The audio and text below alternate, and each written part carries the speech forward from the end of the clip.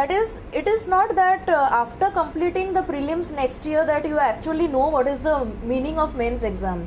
It is at this point that you should know what your main subject should be the first optional and at least have some inkling about the second optional. In fact if you choose and zero in on the second optional it will be much better like uh, because uh, after the prelims exam you hardly get two month uh, two months. And in two months preparing two optionals along with eight segments of gs and also the essay paper it might really drive you mad. So it's better you start now and at least complete half of the main subjects at least one optional of the mains and at least half optional of the second the second optional and have a fair idea of the gs and know from where you're going to get the books know from where you're going to actually look for guidance.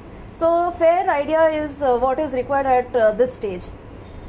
After that uh, coming to the essay paper friends i would like to tell you that the essay paper is very very important. And even for people who think that they do not have a fair uh, command over language or a command over uh, writing ability it is very important uh, to actually have a look at various essays published in various magazines. And also for this particular thing you can uh, in fact refer to essays that are given by coaching centers also. In my own example uh, i had practiced a number of essays. And uh, these essays i had actually subscribed to some uh, coaching uh, coaching centers. Um, and uh, I had uh, got some material from them. I used to write a lot, and it helped me towards the uh, final uh, when the results were announced. I ended up getting somewhere around 135 in essay, which is a decent score. Apart from this, one very small thing I would like to tell you is about the papers, that is the English and the regional language papers. Please don't ignore them. This might sound a bit uh, childish at times, but uh, i have heard of cases where people do not qualify for these exams. And it's a qualifying exam both of them the english paper and the regional language paper. If you totally ignore these papers you might land up not qualifying and the meanwhile your mains uh, papers will not be assessed at all. So please take them also very seriously. This is about the mains exam. I'll come back to any aspect if i have uh, left here uh, towards the end now, uh, coming to the interview part, the most important part of the exam or the most interesting and uh, enjoyable part of the whole experience. Interview actually is not personal. Interview is not interview per se. It is actually a personality test, and it is coined so by the UPSC itself.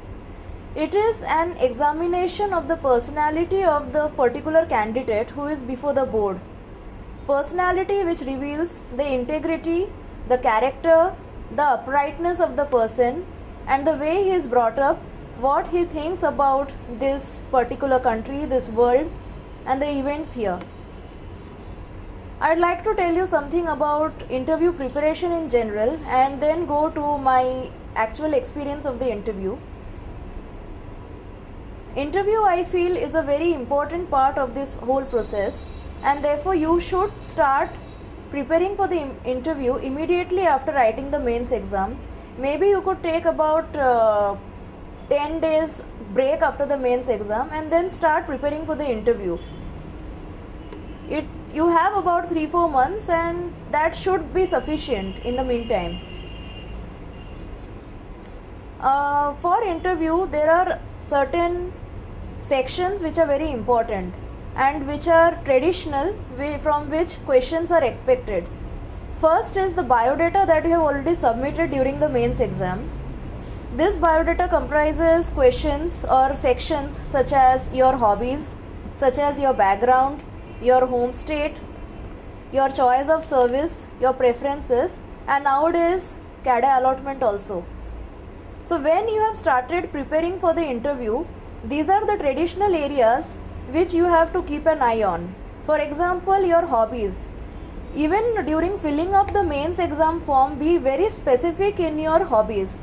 Now, if you just write singing, they might uh, ask you to sing in the exam. So, if you're a good singer, you please write singing. If you're not a good singer, you but you have a passion for music write music listening to kishore kumar songs but of course if you write kishore kumar songs you'll have to be extremely perfect about kishore kumar and the songs that he has sung. So that is about your hobbies. Secondly is your background. That is background would include uh, your qualifications. You have to be thorough with your subject. You have to be thorough with your optionals and also with some points from your home state. You have to know something about uh, the choice of service that you're giving in many cases uh, people opt for uh, foreign service over administrative service. So that becomes a common question that uh, why have you opted for uh, ias over ifs in that case what kind of questions are expected from uh, foreign affairs uh, for that particular year are also very likely questions in the interview. So this is about general interview. Now about method of preparation. Interview really does not have any one method of preparation. Every candidate has a separate method and this generally includes two things. One is mock interviews and one is discussions with friends. Mock interviews again there may be candidates who have given about 20 mock interviews and still not cleared. There may be candidates who have not appeared for any mock interview but have cleared with very uh, flying colors. So it depends on uh, your own aptitude, what you think, at what level you have to start, and what level you have to actually end the number of mock interviews that you're appearing for.